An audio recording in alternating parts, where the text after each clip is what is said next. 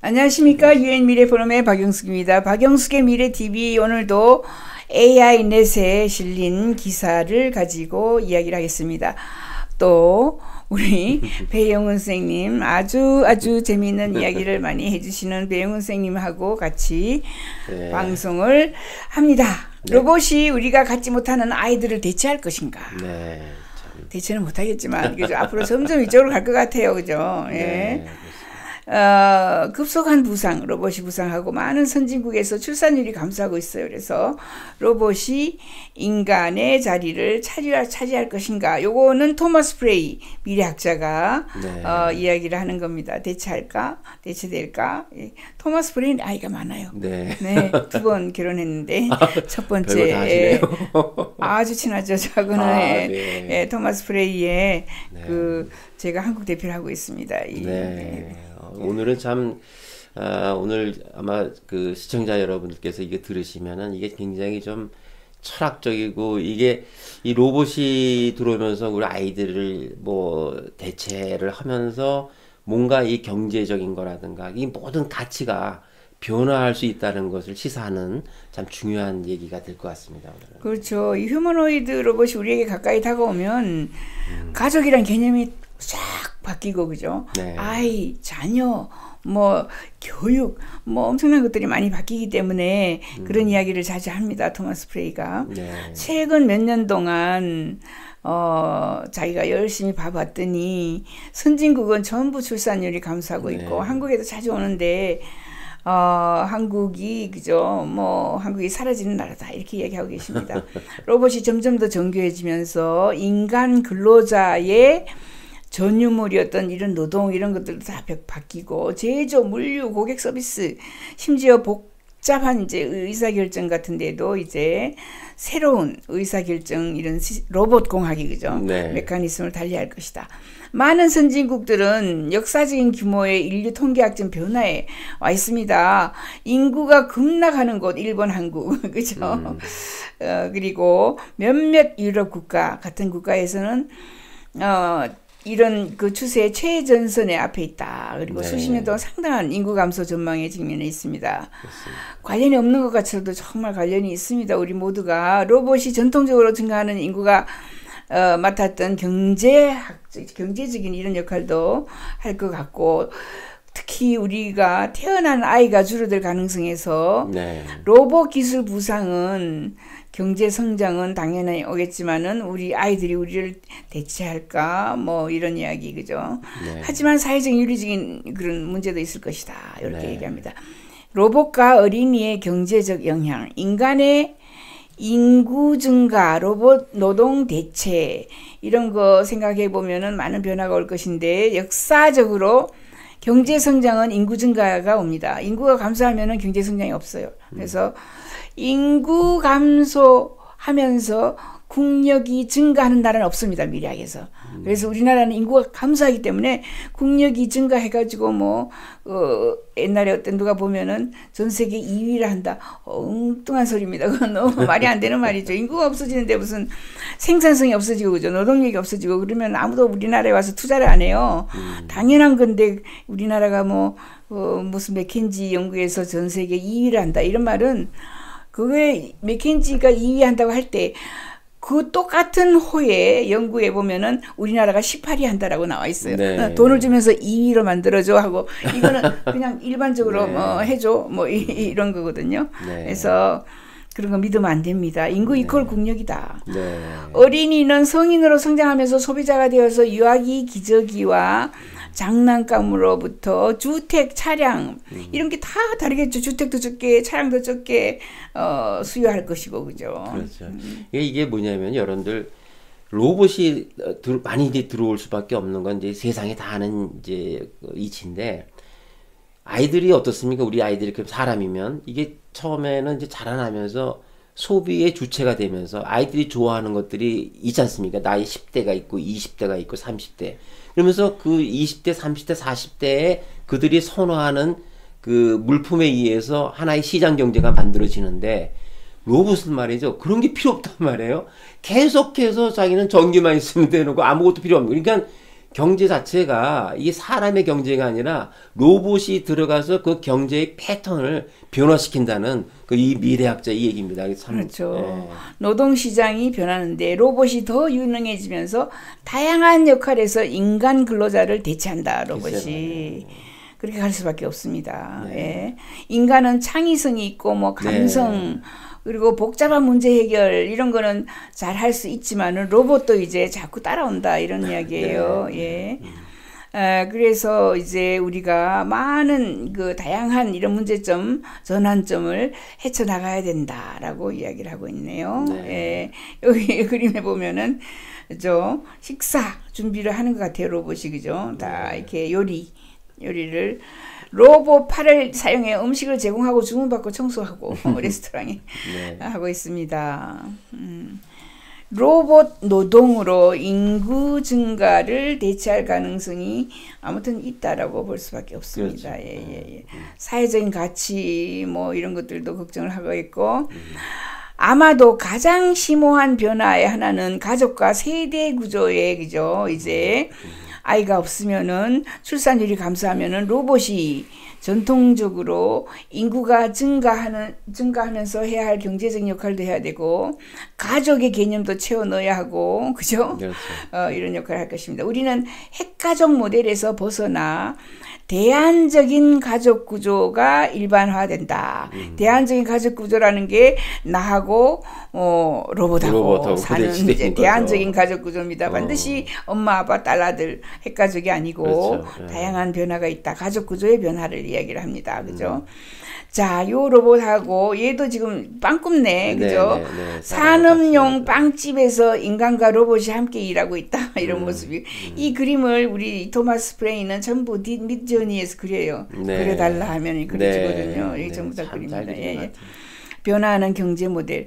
로봇이 증가하는 인구의 경제적인 역할을 대체할 가능성이 있는 시나리오는 현재 뭐 다양한 현재 경제 이론 모델에서 기초를 하니까 엉뚱한 소리가 아니다. 이런 음. 이야기고 음. 노동의 상당 부분이 비소비적인 주체에 의해 수행되는 경제에서 결과를 모델링하고 예측할 수 있는 게 경제 이론이다. 전통적인 경제 모델은 종종 인간의 필요와 욕구에 의해서 뭐가 네. 만들어지고 하는데 얘들은 아무것도 필요한 게 없어요 로봇은 네, 그러니까 옷을 필요하나 네. 먹을 게 필요하나 교육이 필요하나 참 음, 이제 네. 경제 구도가 그죠 많이 네. 변한다. 여러분들 그 왜 일하십니까? 일해 갖고 또 즐겁게 소비를 하면서 여행도 가고 물건도 사지 않습니까?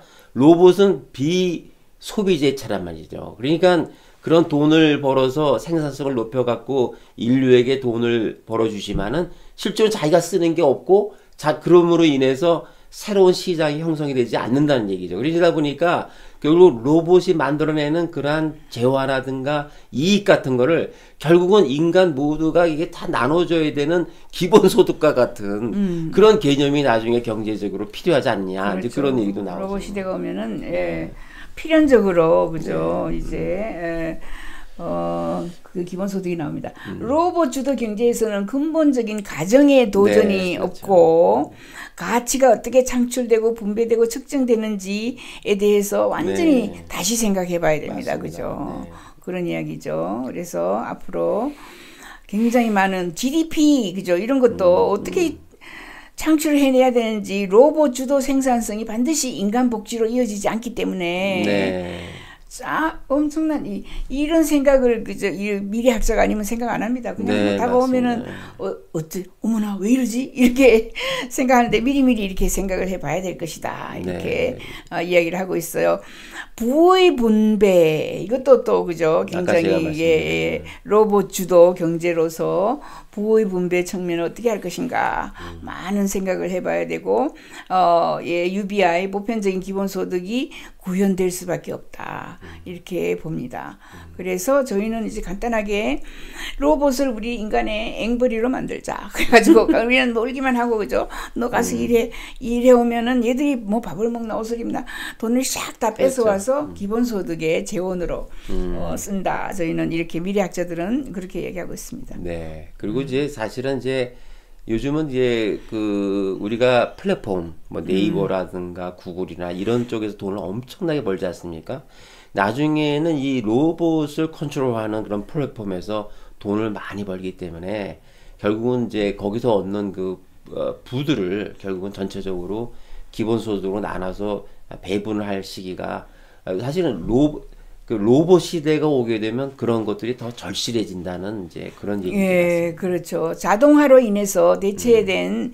인간 근로자 로봇이 그죠. 회사에 음. 세금을 내는 점진적인 로봇 세금이 또 있어야 되고 예 방법이 되고 음, 음. 교육 및 재교육 프로그램은 인간이 로봇 기능과 경쟁하기보다는 보완하는 네. 어, 이런 식으로 갈 것이고 AI와 로봇 혁신의 이점이 사회 전반에 걸쳐서 지적재산권 제고 이런 문제 뭐 다양한 문제 우리가 걱정해야 됩니다. 음. 애 보고 있는 로봇이네 그죠? 이 네, 그림이 로봇 그렇습니다. 보육입니다. 네. 로봇이 보육합니다. 애도 키우고 뭐 이런 거 환경에도 여러 가지 문제가 있을 것이다 앞으로 어, 보고 있습니다. 그래서 이 인간이 줄어들면은 자원 에 대한 수요가 감소해서 네. 생태계에 압박이 완화되고 탄소 배출이 감소하고 음. 기후 변화가 둔화될 수 있을 것이다. 좋아야 될지 말아야 될지 모르겠습니다. 그러니까 인간이 많이 줄어들면은 어, 기후 변화는 그죠 좋아진다 네. 걱정 안 해도 된다 이런 걱정하는데 자연으로 돌아가는 그래서 자연으로 돌아가는데 인간은 없어지고 전부 음. 로봇만 사는 이런 세상이 올까 겁이 납니다. 음. 예. 음. 그래서 이 로봇이 보다 지속 가능한 경제 시스템에 기여할 수 있게 우리가 만들어야 되겠죠. 특히 뭐 윤리 철학적인 문제들이 많습니다. 그죠? 음, 네. 예, 이렇게 윤리 철학적으로 우리가 로봇에 그렇게 의존해야만 하는지 근데 의존할 수밖에 없을 것 같아요. 네, 그죠? 네. 인간보다 훨씬 더 똑똑하고 인간보다 훨씬 더 그죠? 스마트하게 일을 하기 때문에 네. 그렇게 넘어갈 수밖에 없을 것 같습니다. 네. 예, 이제 노인 돌보는 거라 그죠? 요게 네. 얘가 눈에서 그죠? 빛이 나네 그죠? 이렇게 음. 깜깜해도 그죠? 확 밝혀주네 그죠? 얘가 프레시다 프레시 그죠? 아이고 네. 잘 그렸네. 이거 밑전에서 그랬는데 음. 가족들은 사랑하는 가족이 최상의 치료를 받고 있으면 마음이 편 해진다. 그죠? 예, 네. 이렇게 우리 어머니를 얘가 잘 돌봐줄 거야. 네. 아이고 우리도 지금 이제 조금 있으면 음. 로봇의 돌봄을 받아야 될 것 같습니다. 네. 아, 이거 대단합니다. 이렇게 살아야 하나 싶기도 하고 그죠. 아무튼 그게 유토피아의 네. 미래 비전이라고 이야기를 합니다. 토마스 프레이는 네. 자원은 보다 균등하게 분배되고 과학, 예술, 삶의 질이 발전할 것이라고 이야기하고요. 네, 그렇습니다. 예, 일단은 뭐 좋아진다니까 좀 기다려 봐야 되겠습니다. 이게 이제 여기서는 이제 우리가 어, 부정적인 면과 긍정적인 이 있는데 긍정적인 건 유토피아적인 사고로 보는 거고 부정적인 디스토피아 사조, 어, 사고로 보는 건데 유토피아는 인간의 노동력을 로봇이 대, 대체해 주니까 우리는 창의적인 일. 그 다음에 우리가 정말 진정하게 즐기고 싶은 그런 부분에 우리가 몰두할 수 있기 때문에 그건 참 유토피아적인 얘기인데 디스토피아적인 얘기는 뭐냐면은 아까도 말씀드렸듯이 로봇의 로봇을 움직이고 컨트롤하는 모든 조직들의 부에 집중이 벌어지기 때문에 그런 부분에 대해서는 우리가 반드시 그 보완책을 가져가야 된다. 그렇게 되면은 이제 어, 이그 그, 그 부가 어, 상당히 이제 불균형하게 배분이 되니까 그거는 문제가 있다 하는 것을 지금 여기서 말씀을 하는 것 같습니다. 그래요. 이것은 지금까지 토마스 네. 프레이 미래 학자가 앞으로 음. 로봇이 우리의 아이들을 대체할까라는 거고 음. 그 다음에 두 번째 꼭지는 휴머노이드 로봇이 멀리 뛰기를 아, 또 한다라는 네, 네, 겁니다. 네. 유니트리입니다. G1 네. 휴머노이드 로봇이 멀리 뛰기를 해가지고 음. 1.4m를 뛴다. 네 맞습니다. 아, 이렇게 이렇게 생겼네 그죠? 네. 이렇게 얘는 얼굴은 없었던 아이고 그죠? 네. 1.3m 지 이렇게 해서 뛰고 있네요. 그죠? 네, 이게 1. 높이가 한 1.32밖에 안 되는 로봇이거든요. 근데 거기 자기 그 키만큼, 키만큼 어, 음. 뛰었다는 좀 얘기고 그다음에 이제 평지에서 시속 12km를 음. 달려 어, 걸어갔거든요. 그러니까 사람은 1시간당 4에서 5km니까 음. 사람보다 2배 이상 빠르게 어, 음. 움직일 수 있다는 것을 어, 얘기해 주니까 로봇이 사실 제일 약점이 뭐냐면 너무 슬로우하게 움직인다. 그렇죠. 이제 사람보다 두 배가 빠르게 되면은 이제 그 로봇이 할 수 있는 일들이 훨씬 더 어, 많아지게 되는 겁니다. 참 중요한. 네, 그러네요. 휴머노이드 속도에서 진전을 네. 이루었다. 그리고 평지에서 오 이렇게 많이 달렸고 네. 3월에 기네스 기록을 세웠다. 네, 굉장히 빨리. 예, 소매가가 얼마입니까? 16,000불밖에 안 되니까요. 예. 어. 한 2천만 원? 2천만 원. 예. 네, 2천만 원 정도 하고 현재 교육, 연구, 산업용으로 제공이 될 것이다. 네. Unitree입니다. Unitree. 네. 이렇게 해서 그냥 어, 뛰고 달리고 걷고 조깅하고 계단 오르고 춤추기도 하고 한답니다. 야 워밍업 트레이닝, 스트레칭 뭐 뭔가 끄다하네, 그죠? 네.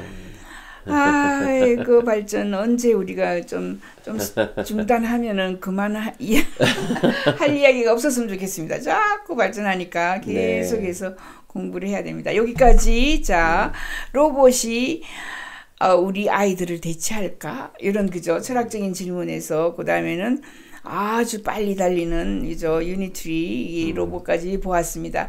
여기까지 박영숙의 미래 TV 구독 좋아요 부탁합니다 감사합니다. 감사합니다. 네. 아이고